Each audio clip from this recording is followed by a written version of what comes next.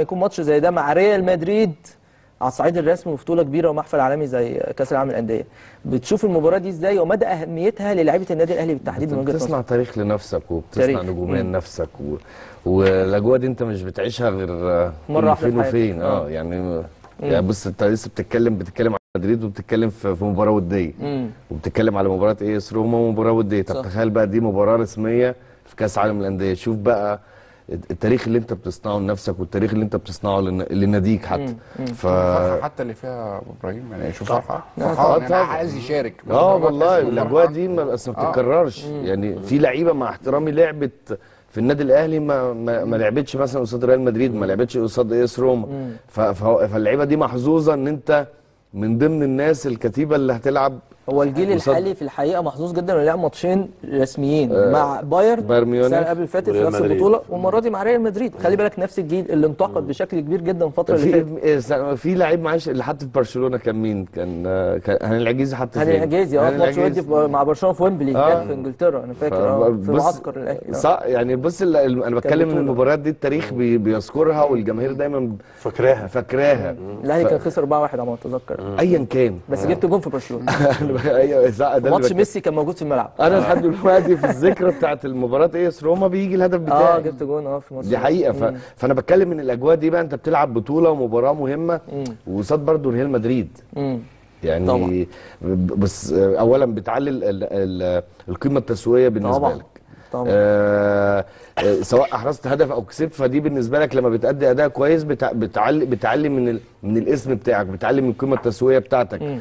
ب... ب... بت- بتعمل لك حتة جماهيرية وقاعدة شعبية مميزة يعني الناس دايما بتفتك... بتفتكرها أكيد. فهي فرصة ما شاء الله الواحد بيتمنى زي ما الأستاذ أحمد قال أنا واحد من الناس بتمنى إن أنا ألعب مباراة قصاد. ريال مدريد الجيل, قصاد الجيل بتاعنا إبراهيم آه، مصطفى عبده والخطيب وطاهر الشيخ الجيل بتاعنا لعبنا كوزموس الأمريكي كان معاهم بيكنباور الحقيقة مباراة برضه كانت من المباريات الجميلة جدا كام ده. كانت؟ ده كان سنة 84 أو 83 خلص كام كام؟ أنا جبت جول أيوة. 3 1 آه. جبت جول ومصطفى عبده جاب جول وطاهر الشيخ جاب جول. 3-1 للأهلي. 3 1 للأهلي. آه. وفي تقريبا. كابتن الأهلي لعب تقريبا مباريات كتيره آه جدا طبعاً، في طبعاً. ضد فرق كبيرة جدا. ما هو جيل بيسلم جيل. طبعا ما الناس اللي بتقلل من الفريق الأمريكي النهارده يعني فريق قوي وسريع ومهاري. كان في مسلسل زمان بتاع الكحيت فاكره بتاع أحمد راتب؟ آه. فاكره يا آه، كابتن؟ آه، كان ظروفه المادية كان طالع شحات في ال- في المسلسل أيوه. لما بيتكلم على الطيارات والصواريخ وعايز يشتري طيارة وصاروخ. فالموضوع صعب جدا يعني. أنت بتتكلم على الفرق الامريكي كمان بيجيبوا لعيبة كبيرة ولعيبة لا عالية الأمريكي جداً. دلوقتي آه، بقى دوري آه، قوي آه، جدا آه، آه، اسامي بتروح. يعني تطور رهيبة. جدا الفترة الأخيرة في. الحقيقة في آخر كام سنة يعني. اتفضل يا كابتن. فطبعا أكيد آه، يعني مباراة آه، هينتظرها كل عشاق النادي الأهلي وجماهير النادي الأهلي وهيبقى فيها متابعة عالمية للمباراة دي. فأنت عندك ما شاء الله تقدر تعمل تاريخ لنفسك كابتن و- إبراهيم أنت عارف دلوقتي ريال مدريد الحسابات الرسمية بتاعتهم على السوشيال ميديا. هم منزلين خبر بعد فوز الأهلي على سياتل. خبر إن المباراة القادمة بالنسبة لنا في كأس العالم للأندية مع النادي الأهلي بطل آه، البطل. برضو نزل مش عارف من اللعيبة كانت هتبقى في. باين لعيبة مش فدي موجودة. في حد ذاتها حاجة كبيرة. ما يعني دي خد بالك ده قيمه تسويقيه. للنادي. بالظبط. وقيمه تسويقيه حتى للعيبة اللي هتشارك في المباراة دي هتتكتب في التاريخ إن طبعاً. يوم كذا 11 لعيب هيلعبوا. فبص آه، أنا أنا واثق في لعيبة النادي الأهلي وواثق في النادي الأهلي جدا. وخصوصا كمان بعد أداء المباراتين الأخرين آه، فوز النهارده والفوز المباراة اللي فاتت أكيد الحالة المعنوية للعيبة بقت أفضل. و... وأنا بقول لك هو والله هتبقى المباراة صعبة على ريال مدريد. طب هنا هسألك سؤال بقى مهم قبل ما نروح لها. أنا عارف الناس ممكن تقول لك ده أنت هتلاعب ريال أنا هسألك مدريد. بقى سؤال مهم. الأهلي يقدر يكسب؟ ليه لأ؟ ليه بص لا؟ أنا ما أنا ما بقتنعش بالأسماء.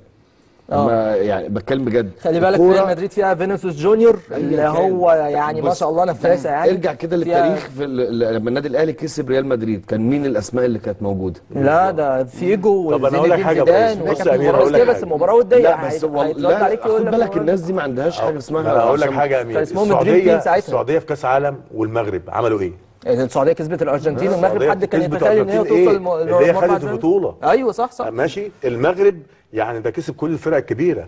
والمغرب قدم كورة كسب كرة- إسبانيا كرة وكسب. البرتغال آه، وعمل مباريات آه. كبيرة جدا. فهي في كرة ما. فيهاش بس يا كابتن مع احترامي خد بالك الأسماء بتاعت الأندية الكبيرة أو اللعيبة اللي موجوده دي ما عندهمش حاجة اسمها مباراة ودية. أيوه دي حقيقة. آه آه. عشان برضو الناس يعني لا، كانت. يتقال لك ده مباراة لا أنا بس بقول لك المبرر ممكن الناس تقول لك أصل ده كان ماتش ودي. لكن ده دلوقتي على الصعيد الرسمي يا كابتن إبراهيم. الأهلي يقدر يكسب ولو هو يقدر يكسب والله المطلوب منه. إيه؟ آه، التركيز ونفس ال- ال- اللعب الجماعي والروح. النادي الأهلي لو امتلك ال- ال- ال- الجزئية دي في المباراة دي والله يقدر يكسب ليه لا هو بس. آه،. يعني الشوط الأول